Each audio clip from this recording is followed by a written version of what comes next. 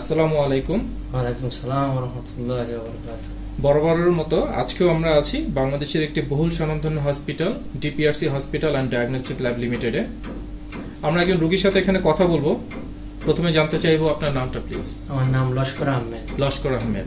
আচ্ছা আপনি কোথা থেকে এসেছেন? আমি সিলেট থেকে গোলাপগঞ্জ থানা সিলেট থেকে আসছি। আচ্ছা সিলেট থেকে এসেছেন। আচ্ছা জানতে চাইব এই ডিপিআরসি হাসপাতালে আপনি মূলত কি সমস্যা নিয়ে আপনি ভর্তি হয়েছিলেন? আমি মূলত ব্যথা নিয়ে ভর্তি হয়েছিলাম। আমার কোমর ঘাড়ে এবং পিঠে এবং পায়ের গোড়ালিতে ব্যথা যাইতো? প্রচণ্ড ব্যথা নিয়ে আমি ডিপিআরসি হসপিটালে আসছি। আচ্ছা কতদিন যাবত আপনি এই সমস্যাটা বারো থেকে চোদ্দ বছর ধরে আমি এই ব্যথা নিয়ে আমি আসি মানে গত বারো থেকে চোদ্দ বছর। আপনি এই সমস্যাটা ভুগছেন। জি জি জি। আচ্ছা আপনি যখন এই সমস্যাটা ভুগছিলেন প্রথম যখন শুরু হয় তো আপনি কি এটার জন্য কোথাও কোনো ধরনের ট্রিটমেন্ট করেছিলেন? আমি বিদেশ ছিলাম মূলত বিদেশ থেকে এই ব্যথাটা নিয়ে আমি বিদেশে অসংখ্য ডাক্তার দেখিয়েছি।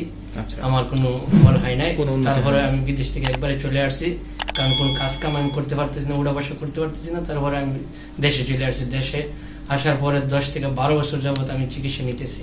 গত দশ বারো বছর চিকিৎসা নিতেছি। অসংখ্য ডাক্তার দেখিয়েছি অসংখ্য টেস্ট বেস্ট করাইছি কিন্তু কোনো আমি ফল পাচ্ছি না। ফল পাচ্ছেন না। তার মানে আপনি ট্রিটমেন্ট করতে গিয়ে তো প্রায় সর্বশান্তের মতো সর্বশান্ত সবকিছু হারিয়ে প্রায় এখন আচ্ছা। মোটামুটি আছি আর কি। আচ্ছা একটু জানতে চাইব যে আপনি এই ডিপিআরসি হসপিটালে কোন ডক্টর সাহেবের আন্ডারে ভর্তি ছিলেন? ডাক্তার মোহাম্মদ শফিউল্লাহ প্রধান ডক্টর শফিউল স্যারের আন্ডারে আচ্ছা কতদিন যাবত আপনি ট্রিটমেন্ট নিয়েছেন? বিশ দিন যাবত ট্রিটমেন্ট নিয়েছি। গত বিশ দিন যাবত আপনি এই ট্রিটমেন্টটা করেছেন।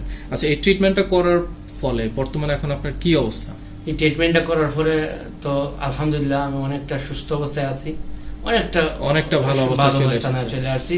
এই অবস্থায় থাকলে আমি আলহামদুলিল্লাহ আমি তো মনে করছিলাম যে আমি কোনো দিন আর ভালো হবে না। অনেক। ডাক্তাররা বলছে এই রোগ আর ভালো হবে না। আচ্ছা, আমার রোগটা নাকি বলতেছে এনকাইলোজিং স্পন্ডোলাইটিস বুঝতে পেরেছি। জি জি। এই স্যারে আমার এই রোগের নাম খুঁজে বলছে উনি তুমি ভালো হইবা ইনশাল্লাহ সুস্থ হবা। স্যারের মাধ্যমে আমি ট্রিটমেন্ট নিছি ইনশাল্লাহ আমি অনেকটা সুস্থ আছি। তার মানে আপনি বলতে চাচ্ছেন গত পনেরো ষোলো বছর যাবত আপনি যে অমানসিক কষ্টে ভুগেছেন। কষ্টের দিন যাপন করেছেন? অনেক কষ্টে মানে আমি তো দিন রাত কাঁদতাম এবং আমি উঠতে পারতাম না বসতে পারতাম না এই যে রিক্সাতে উঠতে পারতাম না গাড়িতে উঠতে পারতাম না হাসি কাশি দিতে পারতাম না। তো আলহামদুলিল্লাহ আমি রাত ঘুমাইতে পারতেছি আগে রাত ঘুমাইতে পারতাম না দু তিনবার উঠা লাগছে। সেটা এই ধরনের কষ্টগুলো আপনার মাত্র বিশ দিনে আপনি সম্পূর্ণ ভালো হয়ে মোটামুটি আলহামদুলিল্লাহ ভালো সুস্থ ইনশাল্লাহ আচ্ছা স্যার আপনার কাছে একটু জানতে চাচ্ছি যে এই ডিপিআরসি হসপিটালের আপনি ঠিকানাটা মানে কার মাধ্যমে প্রথম জানতে পারেন জি আমি ফেসবুকের মাধ্যমে ফেসবুকের মাধ্যমে। জি জি ফেসবুকের মাধ্যমে আমি ডিপিআরসি হসপিটালের সন্ধান পেয়েছি আপনি যখন প্রথম জানতে পারেন তখন আপনি মনে করেছেন যে এত ট্রিটমেন্ট করেছি একবার ওনার কাছে একবার যাই। শেষ বেশ আমি শেষ চিকিৎসা শেষ চিকিৎসা হিসেবে শেষ সম্বল হিসাবে ওনার- ওনার কাছে আসা উনার কাছে আসাতে আমি ইনশাল্লাহ আচ্ছা। ফল পেয়েছি। স্যার একটু জানতে চাইব যে আপনি যতদিন এই ডিপিআরসি হসপিটালে ভর্তি ছিলেন এখানকার ডক্টর যারা ছিলেন যারা নার্স ছিলেন বা যারা ম্যানেজমেন্টের ছিলেন তারা কি প্রপারলি টাইম টু টাইম আপনাকে টেক কেয়ার করেছে প্রপারলি আপনার যত্ন নিয়েছে বা যেভাবে আপনাকে সেবা দেওয়ার কথা ছিল সেটা কি তারা করেছে টাইম টু টাইম জি আমি অসংখ্য হসপিটালে ভর্তি ছিলাম এবং গিয়েছিলাম কিন্তু এই ডিপিআরসি হসপিটালের যে পরিবেশ যে ডক্টর যে নার্স যে সেবক আমাকে সেবা দিয়েছে আমি এরকম কোথাও পাই নাই ইনশাল্লাহ আমি যথেষ্ট সেবা পেয়েছি। আলহামদুলিল্লাহ ভালো চিকিৎসা পেয়েছি ইনশাল্লাহ আচ্ছা স্যার, আরেকটা জিনিস জানতে চাইব, যে আপনি যে সমস্যাটায় ভুগেছেন, এই সমস্যাটায় দেখা যাচ্ছে যে এরা মানে বাংলাদেশে এবং বাংলাদেশের বাইরে এরকম অসংখ্য রুগী আছেন, তারা হয়তো ঘরে বসে থেকে তারা হয়তো কষ্টে নিচ্ছেন, কেউ কেউ হয়তো শুধুমাত্র ব্যথার ওষুধকে কোনো রকমের ব্যথাটাকে কমিয়ে রেখেছেন, কিন্তু তারা হয়তো সঠিক ডক্টর খুঁজে পান না, বা কার কাছে গেলে তাদেরটা ভালো হবে তারা সেটাও হয়তো বুঝতে পারে না। তো দেখা যায় অনেকে বিভিন্ন ধরনের অপচিকিৎসারও সম্মুখীন হন টাকা পয়সা নষ্ট করেন কিন্তু তাদের ভালো হয় না। তো সেই সব রুগী ভাই বোনদের উদ্দেশ্যে কি কিছু বলবেন? সেই সব ভাই বোনদের উদ্দেশ্যে বলব কি স্যার? আমি তো জানি এই যে স্যারের সন্ধান যদি কেউ পায়ালা তার জন্য ভাগ্য খুলে যাবে।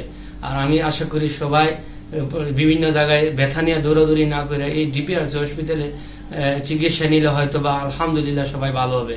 যেহেতু আমি ভালো হয়েছি আমি তো আর ভাবছিলাম না যে আমি সুস্থ হব। তবে আমি মনে করি যদি এই হসপিটালে আসে সন্ধান নেওয়া এবং ঠিকানা নেওয়া তাহলে ইনশাল্লাহ ডাক্তার সুফল্লা প্রধানের মাধ্যমে যদি চিকিৎসা নেয় ইনশাল্লাহ ভালো হবে সুস্থ হবে। মাসাল্লাহ অনেক ভালো বলেছেন। স্যার সবশেষে একটু জানতে চাইব এই ডিপিআরসি হসপিটালে আপনি যতদিন ট্রিটমেন্ট নিয়েছেন এখানকার যে সেবা পেয়েছেন আপনি সেই সেবাকে যদি আউট অফ টেন দশের ভিতরে আপনাকে মার্কস দিতে বলে আপনি দশে কত দিবেন মার্কস না দশে তো দশই দিব ইনশাআল্লাহ। আচ্ছা দশে দশ। বিডি টুডেজের পক্ষ থেকে আপনাকে অসংখ্য ধন্যবাদ আপনার মূল্যবান সময় এবং মূল্যবান মতামত দিয়ে সহযোগিতা করার জন্য। জি আসসালামু আলাইকুম। ওয়ালাইকুম আসসালাম রহমতুল্লাহ বারাকাতুহ।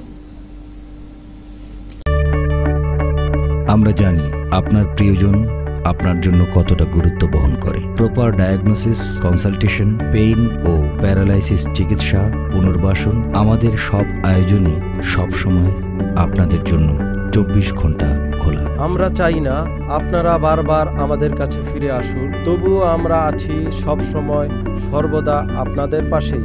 ডিপিআরসি হসপিটাল লিমিটেড আস্থা বিশ্বাস ও নির্ভরতায় অবিচল।